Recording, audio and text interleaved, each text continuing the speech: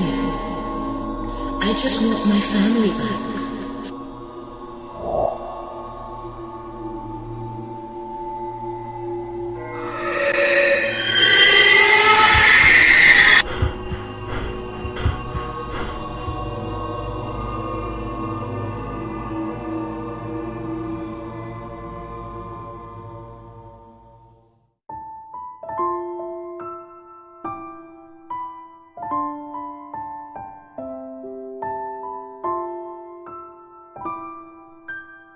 Mr. Jackson stood in his office looking out the window.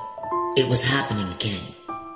The women were out of control and it was all because of Ferguson. Two women brutally killed in the same week. The freak's family now causing chaos in Wentworth. For the first time, he began to doubt himself. Maybe he wasn't the right person to be governor of the prison. Will lowered his head and felt his face getting hot. He grabbed a glass and he threw it across the room. The glass fell, there was a knock on the door. Vera walked in before Will could say anything. She'd heard the glass break from outside the door. Will, what's going on in here? Nothing. My glass. It slipped out of my hands. Must have been some slip. There's broken glass everywhere. Yeah, it's fine. I'll clean it up later. Is, uh, is Gracie okay? Grace? Yeah, your daughter, Grace. That's why you were out yesterday? Grace wasn't feeling well? Oh, right, right. Oh, my poor Gracie. She felt a bit warm and was fussing. Just thought I'd stay home and keep an eye on her. She's all better now. Good. Glad to hear that. I heard about Cassie. Jesus. 18 years old. What a shame. Irina's convinced it was Cassie who killed Sasha. But I'm not so sure. I don't think she did it, Vera. Did she have a motive? No. She had no history with the freak and she'd just been let out of the slop. She had no idea Sasha was even in Wentworth. It could have been anyone, Will. I know.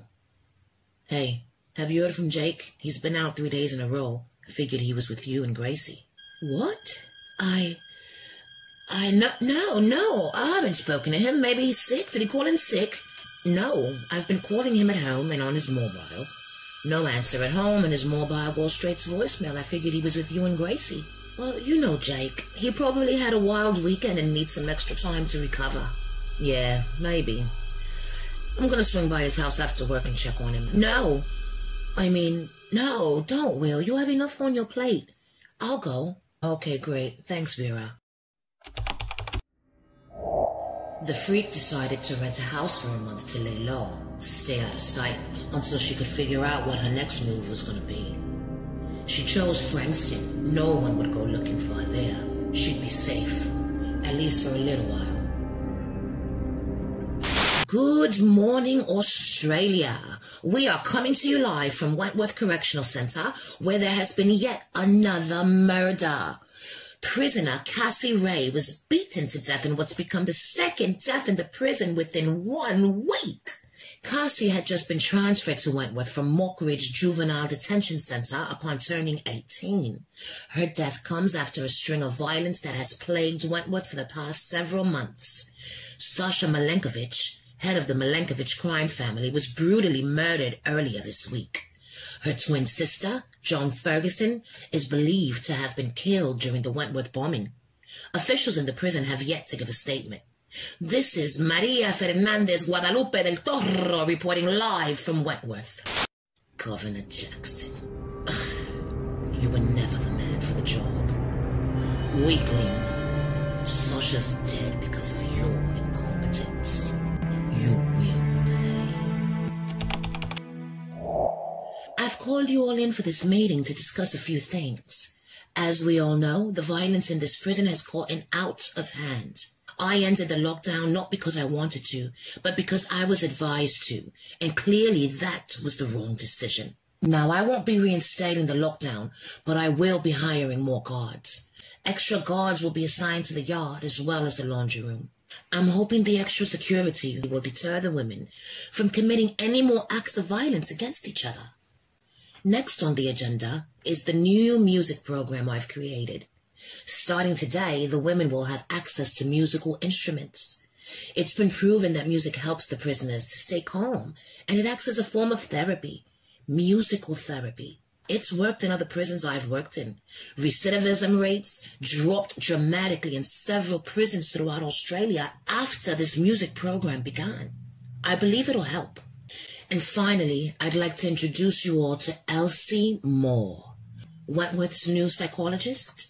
She'll be working in the psych unit as well with the other inmates. Ms. Miles, make an announcement today after lunch letting the women know they can begin setting up appointments to have therapy sessions with Mrs. Moore. Hello, everyone. I would just like to say that it is an honor to be working here.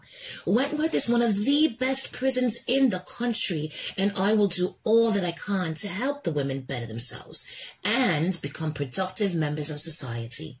I would like to thank Miss Davidson for the opportunity to be a part of the Wentworth staff. I won't let you down, Miss Davidson.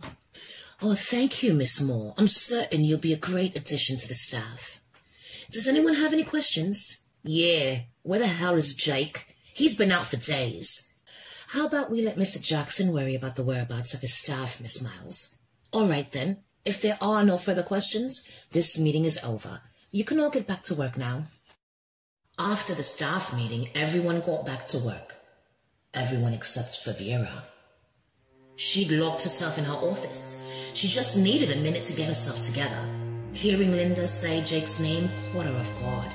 She still couldn't believe what she'd done. Out in the halls, Boomer had just gotten off the phone with Gavin when she heard Franky call her name. Hey, Booms, you got a minute? Yeah, what's up? I was looking over your file and I have some questions. Think you can come by my office this hour? Your office? Sure thing, Ms. Doyle. Oi, you here? Lou Kelly's back. Yeah, I heard.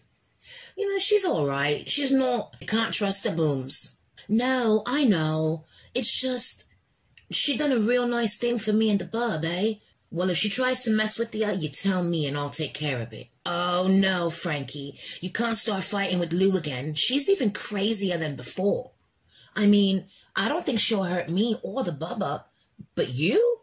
That's exactly why I'm telling you not to trust her, Booms. No matter how many nice things she does for you, all right? You cannot trust her. Yeah, all right. Franky headed on back to her office when suddenly Bridget stopped her. Hey, I've been looking for you all over. I need to talk to you. Come on, we can talk in my office. As they walked to Franky's office, Erica watched them from across the hall. She hated seeing Franky with Bridget. Franky was supposed to be hers. If it wasn't for me killing Jax, Erica would have never been fired. her getting fired is what made her leave, and her time away from Franky just made it clear how much she wanted. It wasn't women Erica lusted for. It was Franky. No other woman would do. It was Franky or no one. And one way or another, Erica always got what she wanted. Bridget walked into Franky's office and she shut the door. As soon as that door was closed, Franky grabbed Bridget and they kissed. They hugged each other for a minute and then Bridget spoke. Irina's in the slot. She beat Cassie's head in. Franky, it was horrible. Sasha's dead. Irina's in the slot.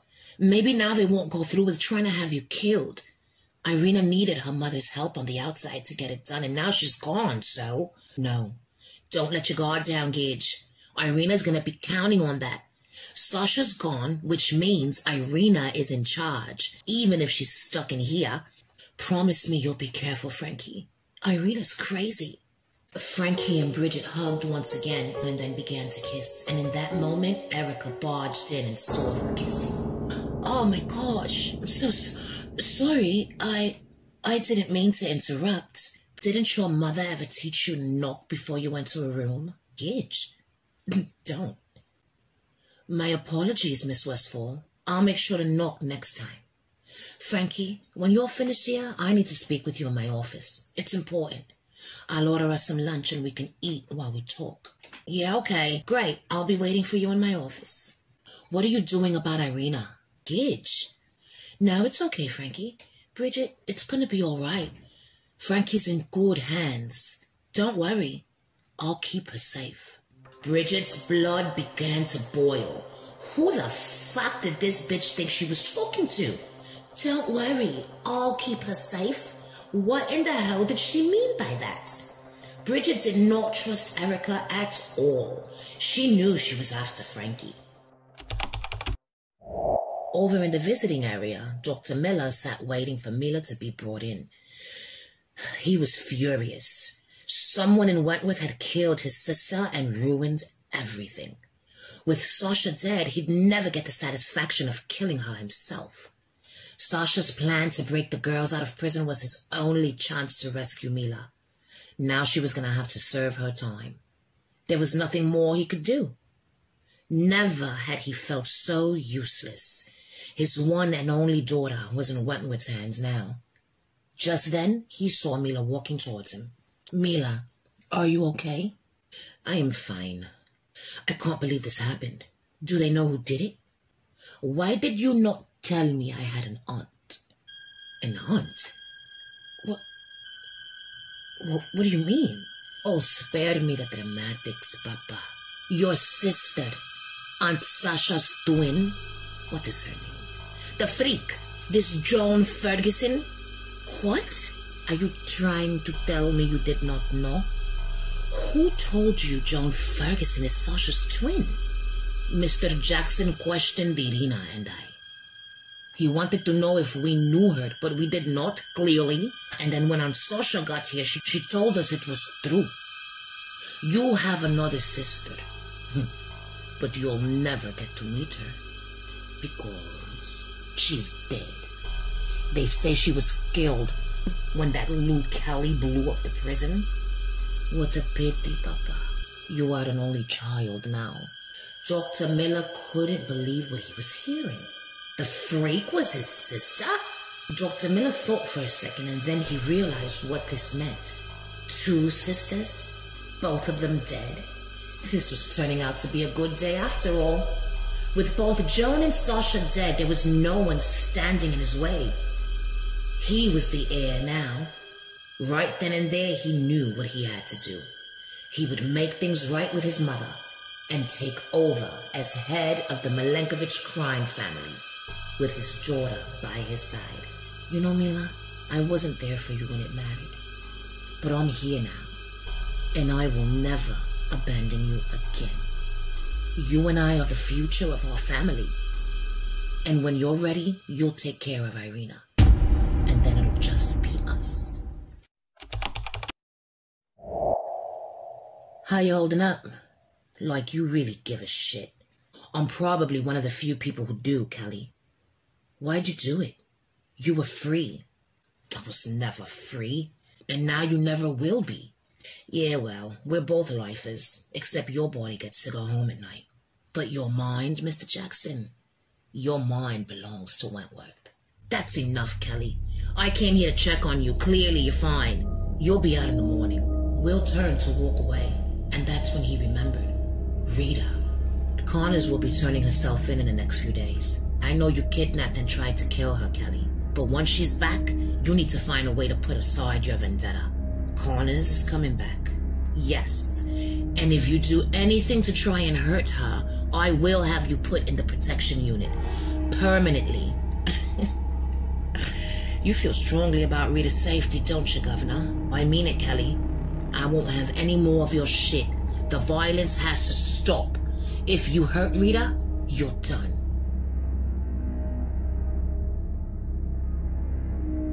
Franky, I'm glad I caught you.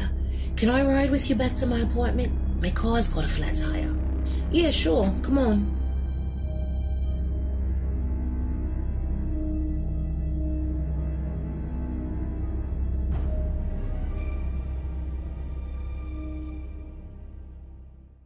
Franky sat at the table watching Erica with her mouth watering.